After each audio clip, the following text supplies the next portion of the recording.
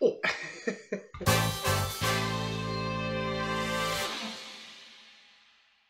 Ja, hallo, liebe Lego-Fans, liebe Freunde des gepflegten Steine-Kombinierens. Hier ist Ben Briggs und herzlich willkommen zu diesem neuen Video hier auf meinem Kanal. Ja, Marvel Infinity Saga, äh, was muss ich da groß noch zu sagen? Ich glaube, ihr wisst mittlerweile alle ziemlich genau, dass ich ein riesen Fan dieses Franchises bin und auch natürlich ein großer Fan der Klemmbausteinsets, die dazu gefertigt wurden. Ich sage hier ganz bewusst Klemmbausteinsets, weil ja, natürlich hat Lego die meisten Marvel Superhero Sets gemacht, aber ihr wisst natürlich auch, da gibt es noch diesen großen Tower von Panlos. Ja, ein Schmuckstück. Immer wieder, wenn ich dran vorbeigehe. Richtig, richtig cool. Ja, aber heute soll es nicht um den Tower gehen, sondern um was anderes. Schönes, Schmuckes. Und das ist tatsächlich dieser Infinity Gauntlet. Ja, ja, Schmuck ist dann natürlich hier auch äh, das entsprechende Wort, denn dieses Ding soll natürlich den Raum hier irgendwo zieren. Und es ist ein Displaymodell, dementsprechend soll es auch Schmuck aussehen. Aber ich glaube, bevor ich jetzt hier noch zu viel drüber erzähle, ich würde sagen, wir schauen uns das ganze Ding mal genauer an. Glitzer, Glitzer, Glitzer. Ja, und da steht auch schon vor euch der Infinity Gauntlet, der Infinity Handschuh von, aus der Marvel-18 Plus Serie. Ich sage mal 18 Plus, da gibt es ja Leute, ich weiß jetzt nicht welche, mir fallen gerade keine Namen ein. Ich glaube irgendwas mit T, Thomas, egal, ähm, die dann immer sagen, dass das Quatsch ist äh, mit dem 18 Plus, dass das äh, auch jedes äh, dreijährige Kind bauen könnte. Gut, bei dem Set weiß ich das nicht hundertprozentig, aber 18 Plus ist für mich einfach ein Interessens äh, Zielgruppe, also eine Zielgruppe. 18 plus Leute, die äh, dieses Set kaufen, sind eher 18 plus. Gut, aber das ist äh, Nummer Nebenschauplatz. Das Set hier hat die Nummer 76191 aus dem Jahre 2021, 590 Teile und das Ganze, und das ist eine steile Ansage, für 69,99. Ich habe es tatsächlich für 5 Euro bekommen. Nein, aber das ist natürlich klar. Ich habe es bei Lego selbst gekauft und dann äh, mit äh, Gutscheincodes und VIP-Codes und hast du nicht gesehen. Da und ne, dann war die Sache halt auch nicht so problematisch. Ja, die Kamera finde ich ist heute, beziehungsweise die Beleuchtung ist natürlich heute exzellent. Das Ganze glitzert und glint, äh, glitzert und äh, glänzt und hast du nicht gesehen. Und so muss das auch sein. Also das Ding ist natürlich super. Das ist natürlich der Handschuh, den Thanos in Infinity War anhat, wo er dann alle die äh, sieben Infinity, die, die, die sechs Infinity-Steine versammelt, um am Ende dann den sogenannten Snap durchzuführen, der dann zu der Auslöschung der Hälfte der Lebewesen im Universum führt. Aber zu den Steinen kommen wir natürlich gleich noch. Zunächst mal möchte ich euch die Packung ganz kurz ein bisschen näher bringen. Äh, ist ja bisher nicht so meine äh, Sache gewesen, aber ich finde, gerade hier macht es auf jeden Fall Sinn.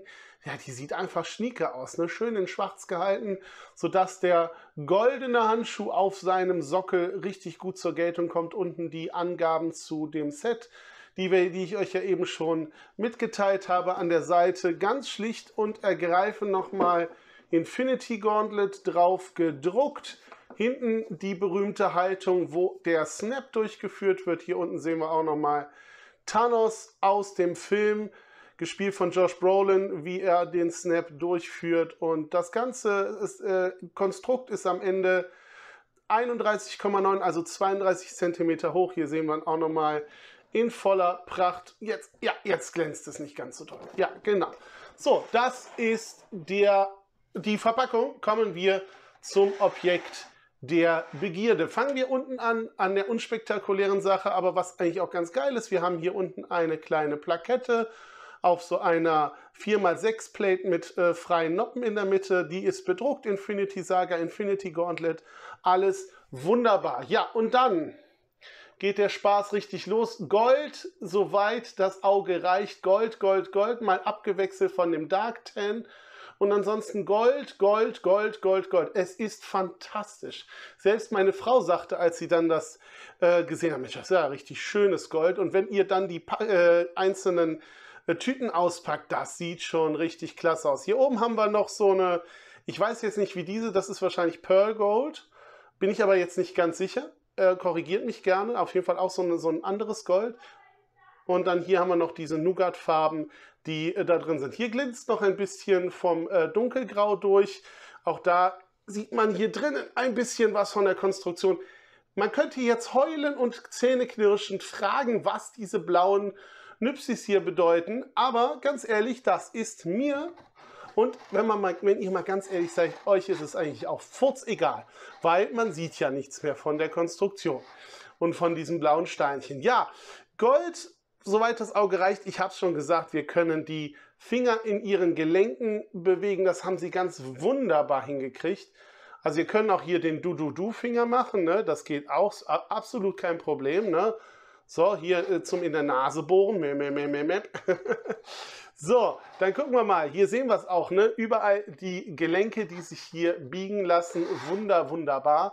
Und ähm, ja, dann kann man natürlich auch diese ominöse Szene aus dem äh, Film nachstellen, indem wir halt hier dann Mittelfinger und Daumen zusammenführen lassen.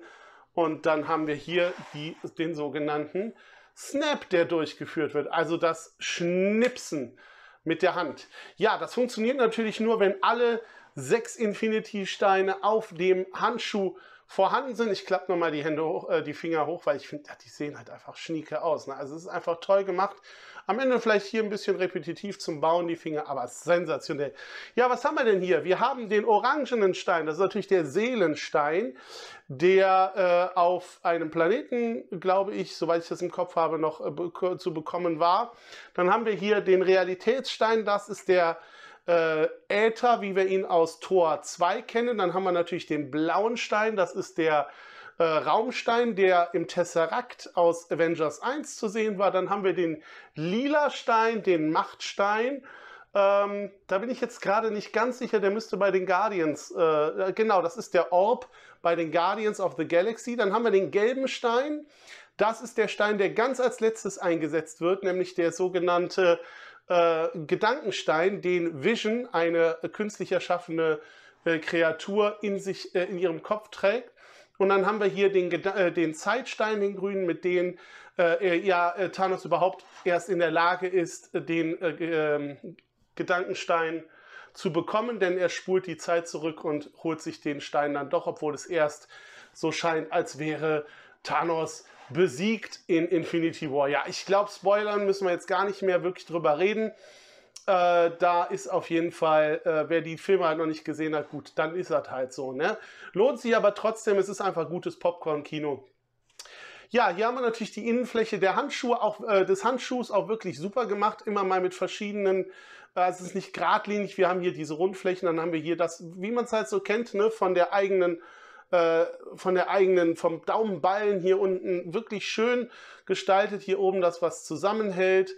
Und äh, was ich ein bisschen irritierend fand, aber vielleicht könnt ihr mir da weiterhelfen, waren diese Plate Modified mit dem rechten Winkel und den Noppen an der Seite. Da war ich am Ende irgendwie ein bisschen irritiert, warum die hier hinkommen. Aber ja, ein absolut grandioses Set. Äh, gerade für Liebhaber der Avengers-Filme und äh, Marvel-Comics ähm, und was auch immer. Es ist, es ist großartig. Ne? So, ähm, und gerade wenn ihr sagt, ihr braucht Gold, gut, ob ihr dafür jetzt 70 Euro ausgeben wollt, ist halt die Frage. Aber ihr kriegt viel Gold. Ihr kriegt viel Gold. Ja, ja, ja, ja, ja. Ja, das ist also der Infinity Gauntlet von Lego äh, aus der Marvel-Serie und ja, ich persönlich muss einfach sagen, genial. Ja, Freunde, was soll ich sagen? Ein richtig geniales Set. Einfach zu bauen, überhaupt keine Schwierigkeit und ein grandioses Ergebnis. Das baust du ungefähr so in einer guten Stunde, hast es weggebaut. Und ach, immer hier diese Dinger hier, die, die, die stören manchmal ein bisschen, aber man hält es ja auch nicht in der Hand, denn das ist natürlich, wie schon erwähnt, ein Display-Set, was optisch einfach richtig toll ist abgesehen davon, dass es toll ist, äh, die Farbe und so weiter, gibt es aber auch eine Kleinigkeit, wo ich so ein bisschen sage, nee, das gefällt mir nicht so und das sind hier die Infinity-Steine. Ähm, wer die Comics gesehen hat, äh, gelesen hat und auch im Film, da sieht man eigentlich, dass die Steine relativ gleichförmig hier sind. Das sind sie leider hier nicht, deswegen bin ich da, naja, mal gucken, entweder ich baue es ein bisschen um. Ihr kennt ja, wenn man meckert, was ja ähm, en vogue ist momentan in der Klemmbausteinwelt im Internet, ja, dann soll man es doch bitte auch besser machen. Ne? Deswegen, wenn ich mich da nicht dran gewöhnen kann, dass die Steine so unterschiedlich sind, ja, dann gehe ich vielleicht hin und ersetze die Teile und dann wird das anders gemacht. Ja, aber gut, bis dahin muss ich vielleicht nochmal drüber nachdenken. Ja, ansonsten definitive Kaufempfehlung. Äh, macht sich einfach toll hier ähm, im Regal beziehungsweise irgendwo, wo man sich schön hinstellt. Ja, aber jetzt bin ich mal auf eure Meinung gespannt zu diesem wunderschönen Set. Schreibt es mir unten in die Kommentare. Ich bin sehr gespannt. Ich weiß, dass der eine oder andere das schon hat. Aber vielleicht gibt es ja auch Leute unter euch, die noch unentschlossen sind. Dann äh, vielleicht hilft euch das Video und ansonsten schreibt mir einfach eure Meinung unten rein. Ich bin sehr, sehr gespannt, was ihr davon haltet. Ja, ansonsten war es das von mir und äh, ich würde mich natürlich riesig freuen, dass, wenn dir das Video gefallen hat, du dem Video einen Daumen nach oben gibst. Und wenn du neu auf meinem Kanal bist, dann kannst du auch gleich mal eben den Abo-Button drücken und die Glocke aktivieren, denn dann wirst du immer informiert, wenn was Neues von mir hier kommt und dann sehen wir uns im nächsten Video und da freue ich mich sehr drauf. Aber bevor wir heute auseinandergehen, eine Sache noch, äh, in, nicht in eigener Sache, sondern in äh, freundschaftlicher Sache. Der liebe Bloxy, Blockstar, ihr wisst Bescheid, hatte mich gefragt, ob eine gewisse Positionierung der Finger möglich sei und ich muss sagen,